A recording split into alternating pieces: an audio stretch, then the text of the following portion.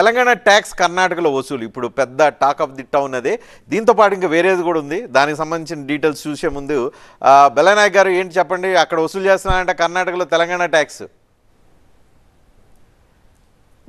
ఇప్పుడు ఒక భారతదేశం అంతా బీజేపీ వసూలు చేస్తుందా ఇప్పుడు ట్యాక్స్?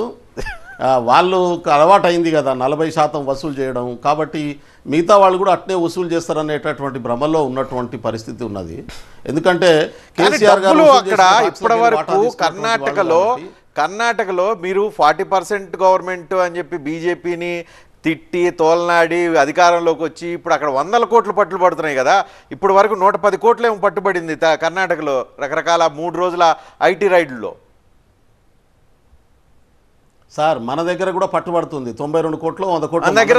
లక్షలు అక్కడ డైరెక్ట్ ముప్పై. కోట్లు నలభై కోట్లు ఈ రేంజ్లో పట్టుబడుతుంది. ఎవరి దగ్గర పట్టుబడుతుందో కూడా చెప్పండి. నేనేమంటున్నానంటే ఆ పట్టుబడ్డ. డబ్బు ఎవరిది పట్టుబడ్డటువంటి వ్యక్తులు ఎవరు దాని మీద లీగల్గా చర్య తీసుకోండి ప్రభుత్వం ఉన్నది. మీదే కదా ఎందుకు మధ్యప్రదేశ్లో రైడ్ జరగదు ఎందుకు ఇవాళ బీజేపీ పాలిత రాష్ట్రాల్లో రైడ్ జరగదు ఎందుకోసం జరుగుతుంది తెలంగాణలో ఎందుకు జరగదు ఇవాళ ఇప్పటికీ కేసీఆర్కు సంబంధించినటువంటి బీభాములతో పాటు పైసలు పోయినాయని ప్రచారం జరుగుతూ ఉంది. ఎన్ని దిక్కుల చేసినటువంటి పరిస్థితి ఉంది?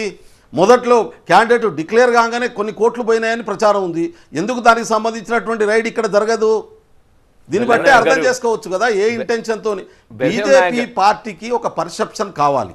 తనకు తనకు తాను రాజకీయ యుద్ధంలో గెలవలేనప్పుడు అబద్ధాలు చెప్పి అబద్ధాల ప్రకారం డైవర్ట్ చేసి ఇవాళ ఒక బీజేపీ నాయకురాలు అంటుంది సోనియా గాంధీ గారిని తరిమి తరిమి ఇటలీ వరకు కొట్టాలని చెప్పి. ఇవాళ ఒక బీజేపీ నాయకురాలు మాట్లాడుతున్నటువంటి పరిస్థితి ఉన్నది. అంటే ఇష్యూను నిన్న రాహుల్ గాంధీ గారు ఏదైతే మణిపూర్లో ఒకసారి కుటుంబ పాలన మీద ప్రశ్నలు అడిగి సంధించేటర్లకు దాన్ని డైవర్ట్ చేయడం కోసం కొత్త ఇష్యూను కొత్త పర్సెప్షన్ ముందుకు తీసుకొచ్చేటటువంటి ప్రయత్నం చేస్తారు. అందుకని ఇవాళ ఇక్కడ చేతగానటువంటి తనాన్ని తమ ఫెయిల్యూర్స్ని తమ వైఫల్యాల్ని సమాధానం చెప్పుకోవాల్సినటువంటి పరిస్థితి ఉన్నప్పుడు ఆ సమాధానం నుంచి దాటేయడం కోసం ఇంకో డైవర్షన్ పద్ధతిని ప్రిపేర్ గారు, రాజకీయ ఎత్తుకల్లో భాగంగా చేస్తున్నటువంటి ప్రయత్నం. అందుకనే నేను చెప్తా ఉన్నాను. నాయక్ గారు నాయక్ గారు ఈ రోజు చెప్పండి, చాలా. స్పిరిటెడ్ ఉన్నారు మంచిదే. ఎందుకంటే మీ నాయకుడు ఇక్కడ ఉన్నాడు కాబట్టి. కానీ నేను ఏమంటున్నా అంటే ప్రశ్న మిమ్మల్ని అడిగితే దాన్ని మా బా మా కోట్లు వేస్తా ఉన్నారు. ఇక్కడ అక్కడ దొరికే అన్ని పైసలన్నీ శివకుమార్ గారి సన్నిహితుల దగ్గర దొరుకుతా ఉన్నాయి. స్పెసిఫిక్గా ఉన్నది ఇష్యూ. మీరు దానికి ఆన్సర్ చెప్పమంటే మీరు మళ్ళా భారతీయ జనతా పార్టీ మీదకి వస్తున్నారు. దాని అయితే ఆన్సర్ చెప్పండి. వందల కోట్లు ఎట్లా దొరుకుతున్నాయి అక్కడ? కృష్ణప్రసాద్ గారు ప్రసాద్ గారు ఒకటే. రోజు యాభై వేల కోట్ల రూపాయలు అమిత్ షా కొడుకు బ్యాంక్లో ఏడుకేళ్ళు వచ్చినాయో ఎంక్వైరీ చేయండి. మళ్ళా అదే మీరు ఇది వాట్ అబౌట్ కాదు చెప్పండి వాట్ అబౌట్ చెప్పండి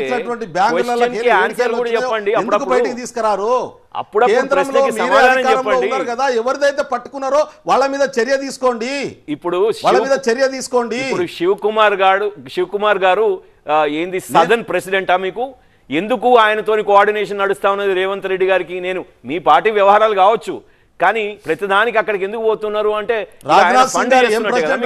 మిమ్మల్ని ఫండ్ చేస్తున్నట్టే కదా? మా? ప్రెసిడెంట్ అయితే ప్రెసిడెంట్ మా ప్రెసిడెంట్ మధ్యప్రదేశ్ రాజస్థాన్ వదిలిపెట్టి ఇంకోళ్ళని తీసుకొచ్చేందుకు తిప్పుతా ఉన్నారు. ఇప్పుడు ఒక జాతీయ పార్టీ ఉన్నప్పుడు జాతీయ పార్టీలకు నాయకత్వం చాలా మంది ఉంటారు. అందరు నాయకులం మీరు ఎందుకు కిషన్ రెడ్డి గారు తీసుకొస్తున్నారు? ఒక్కొక్క రాష్ట్ర కిషన్ ముఖ్యమంత్రిని కిషన్ రెడ్డి గారు గుజరాత్ పోతలేరు? కిషన్ రెడ్డి గారు గుజరాత్ పోతలేరు.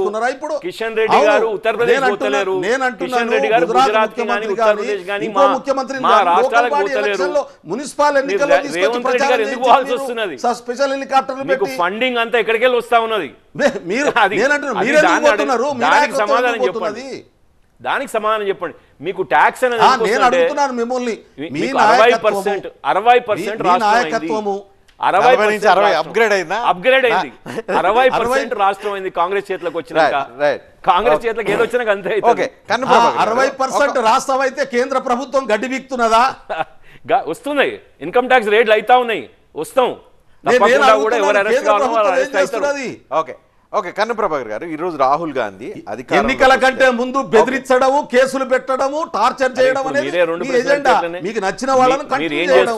మీరే అడిగారు. కన్ను ప్రభాకర్. గారు